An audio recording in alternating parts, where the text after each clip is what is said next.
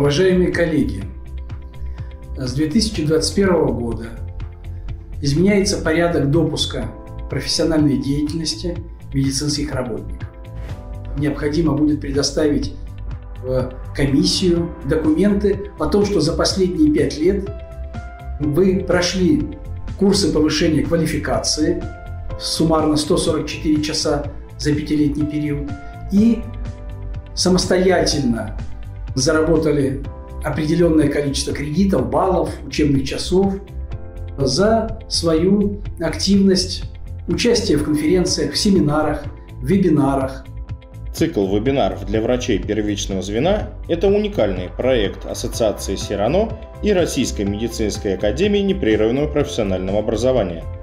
Это возможность для врача продолжать свое обучение в рамках проекта непрерывного медицинского образования, не отрываясь от экрана домашнего компьютера во внерабочее время. Циклы вебинаров выстроены по 9 темам, которые идут как уроки в одно и то же время по выходным дням. В 16.00 начинается курс «Дентальная имплантация». Читают доценты Пензенского медицинского университета Александр и Дмитрий Стаматовы – в 16.30 начинается курс «Дифференциальный диагноз». Его читают доцент Этери Борисовна Мумладзе, профессор Андрей Леонидович Заплатников. В 17.00 начинается курс «Актуальные вопросы лор органов». Его читают профессора Валерий Михайлович Свистушкин и Галина Николаевна Никифорова. Российская медицинская академия непрерывного профессионального образования помогает вам выстроить э, вектор профессионального развития на ближайший пятилетний период. В 17.30 начинается курс «Актуальные вопросы на неонатологии». Его читают профессора-неонатологи Наталья Ивановна Ахмина, Николай Павлович Шабалов и Андрей Леонидович Заплатников. В 18.00 будет начинаться курс «Современный врач». Его прочтут член-корреспондент, профессор Дмитрий Алексеевич Сычев – профессор, заведующий кафедрой психотерапии и сексологии Виктор Викторович Макаров. В 18.30 будет начинаться интереснейший курс неврологии для педиатров. Его читают профессора Валерий Петрович Зыков и Андрей Леонидович Заплатников и сотрудники кафедры детской неврологии.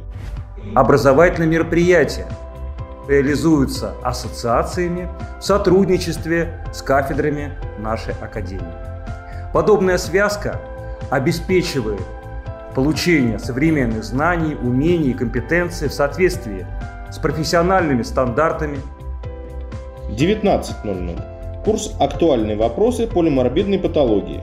Читает профессор Ольга Дмитриевна Остроумова и сотрудники кафедры полиморбидной патологии. В 19.30 пройдет курс «Избранные вопросы хирургии для педиатров». Читают профессор Ольга Витальевна Карасева и сотрудники НИИ травматологии и детской хирургии. В 20.00 начнется курс «Диалоги с профессором» Ириной Николаевной Захаровой, заведующей кафедрой педиатрии Российской медицинской академии непрерывного профессионального образования. Ассоциация Сирано приглашает вас совершенствоваться в профессии и начинает цикл видеоуроков для врачей первичного звена. И если ваш нос любознателен, то мы приглашаем вас на вебинары выходного дня по интересующим вас специальностям. Регистрация доступна на сайте www.edu-sirano.ru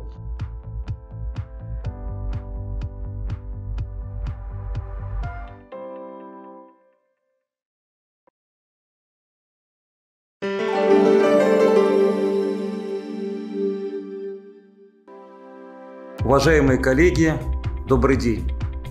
Российская медицинская академия непрерывное профессиональное образование – это наиболее опытное и уникальное учреждение дополнительного профессионального образования. Мы реализуем программы в области повышения квалификации с 1930 года. В настоящее время дополнительное профессиональное образование врача преобразуется в так называемое непрерывное медицинское образование.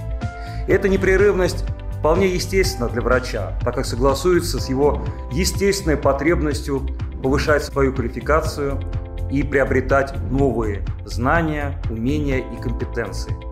Непрерывное медицинское образование представлено двумя частями.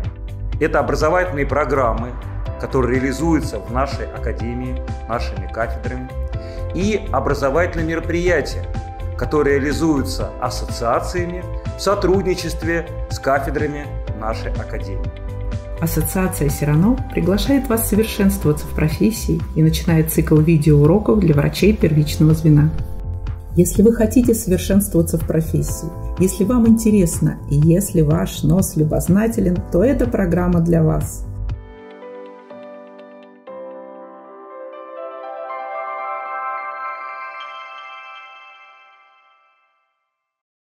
Итак, сегодняшняя презентация посвящена черепно-мозговой травме, травме у детей. Мы начнем с особенностей. Чем отличается черепно-мозговая травма у детей от таковой у взрослых?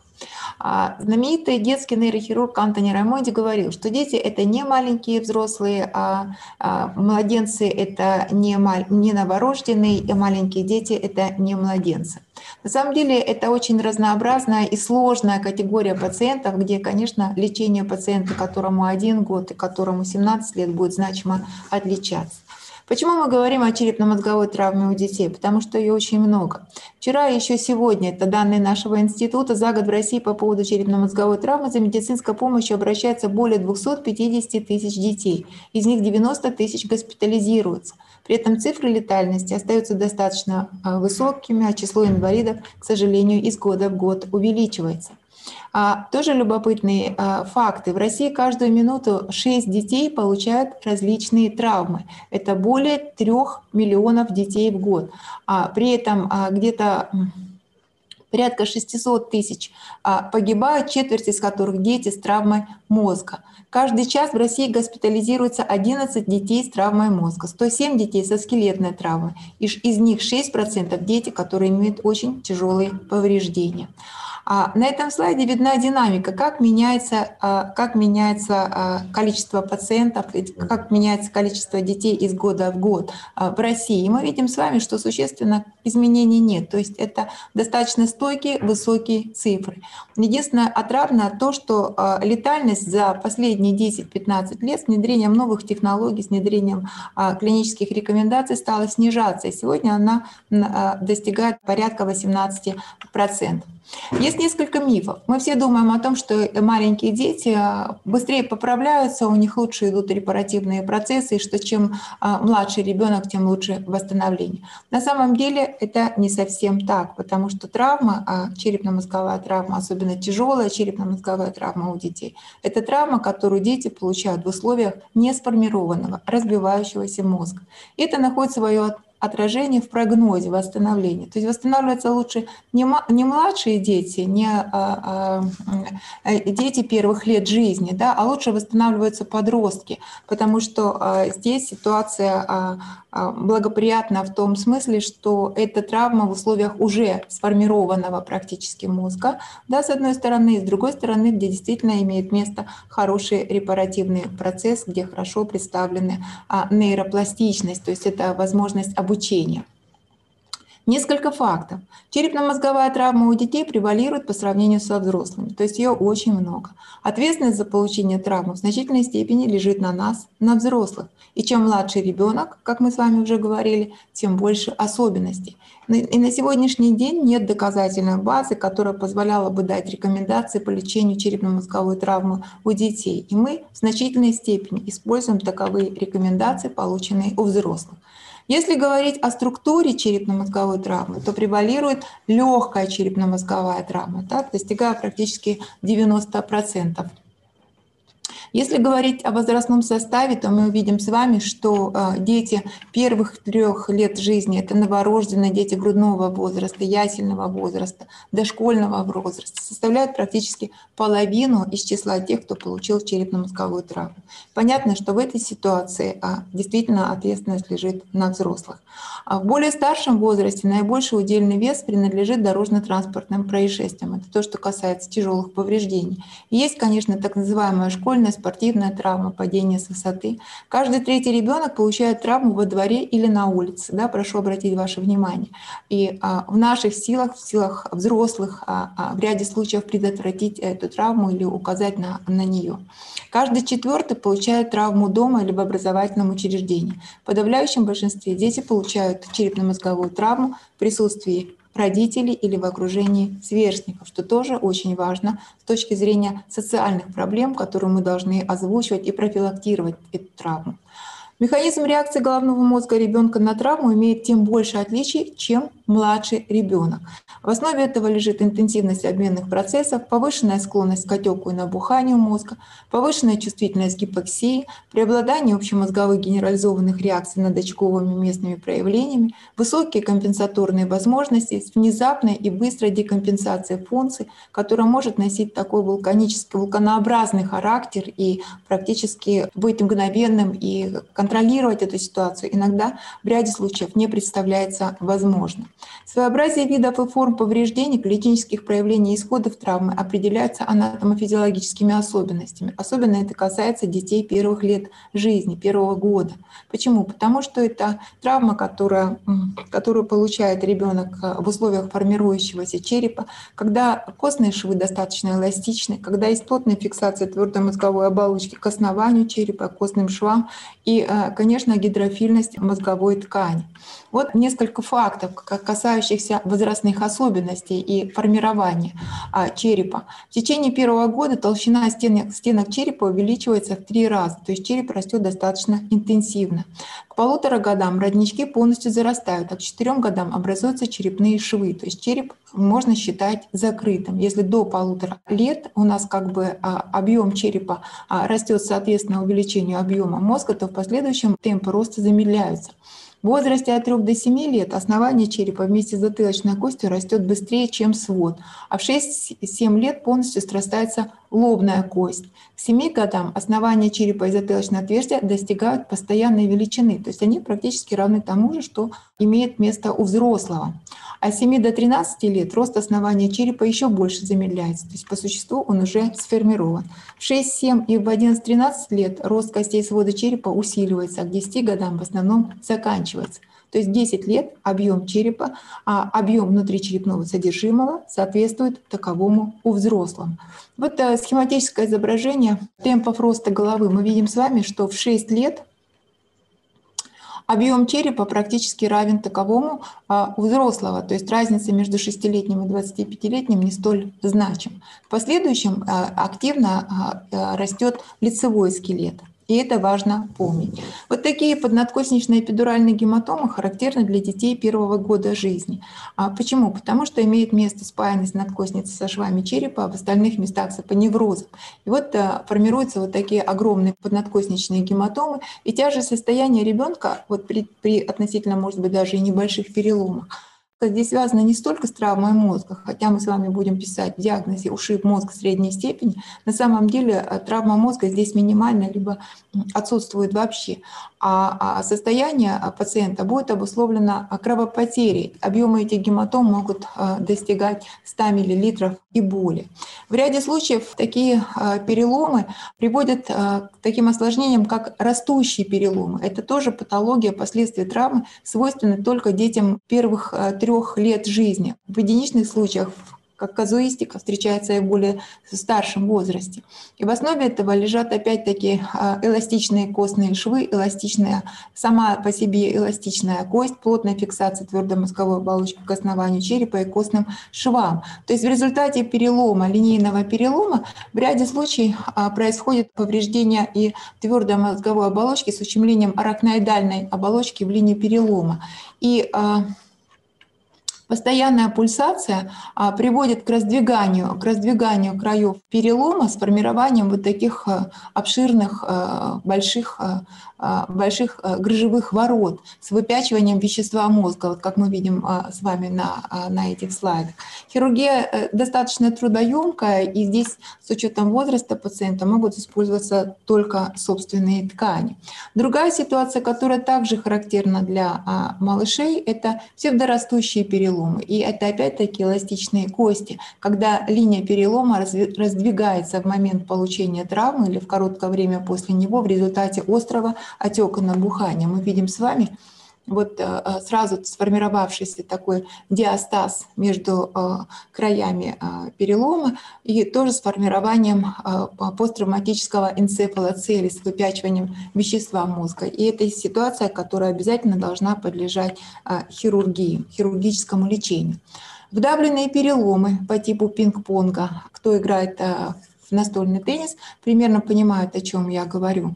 А, и здесь э, тоже вот такая особенность, э, особенность этих переломов связана со строением костей черепа. Это отсутствие диплоического слоя, и эластичная, и сама по себе эластичная мягкая кость. Причем эти переломы а, классическом варианте а, репонируется элеватором через фрезевое отверстие, но в литературе появились даже публикации, что их можно лечить не хирургическим путем, а путем вакуум-экстракции, как мы видим с вами на этом а, слайде, а, и даже рассчитана сила, какой, которая должна быть предложена для того, чтобы выправить это эластичное, э, это эластичное такое а, давление и деформацию а, а, свода черепа. Ну и вместе с тем нам кажется, что такой метод не очень приемлем, потому что мы не можем контролировать а, отрицательную, силу отрицательного давления, и мы не всегда знаем, как отреагирует мозг на такую манипуляцию. Но и тем не менее, видите, это оказывается возможно. А, в англоязычной литературе а, есть э, такой диагноз, как синдром тряски младенца. Здесь в основу диагноза положен механизм трап. В российской медицине такого диагноза нет, но и вместе с тем мы должны о нем знать, потому что а, это особенность э, малышей, детей первого года жизни, и такой механизм травмы вполне возможен. Его нужно понимать для того, чтобы принимать правильное решение и правильное лечение проводить. Так, Такое повреждение возникает в результате продолжительной намеренной резкой тряски в вертикальном положении, в результате чего а, крупная голова на слабых мышцах шеи совершает вот такие а, движения, открытые швы черепа, открытые роднички, широкие субарахноидальные пространства. А, приводят к повреждению внутричерепного содержимого. В США ежегодно фиксируется порядка 50 тысяч случаев а, синдрома тряски младенцев. Причем а, чаще всего в четверти случаев из них речь идет о тяжелом повреждении. В России такого диагноза нет, и в принципе он может быть эквивалентен диагнозу синдром жестокого обращения. Хотя вот есть некоторые особенности, о которых мы сейчас с вами поговорим. А вообще это этот э, термин синдром тряски младенцев был введен детским рентгенологом Кэфи в 1974 году, который впервые описал этот синдром. Этот синдром включал в себя интракраниальные кровоизлияния, это субдуральные гематомы или субарахноидальные кровоизлияния, ретинальные кровоизлияния, периостальные повреждения длинных трубчатых э, костей и ребер. Ну, вот здесь схематично представлено, что в результате тряски, в результате такой болтающейся головы может происходить повреждение пиальных сосудов, что, собственно говоря, и сопровождается субарахноидальным кровоизлиянием или формированием внутричерепных гематом. Но клинический пример мы предполагаем, мы не можем с уверенностью говорить, что а, это действительно синдром тряски младенцев, но и тем не менее мы нашли ряд признаков, которые указывают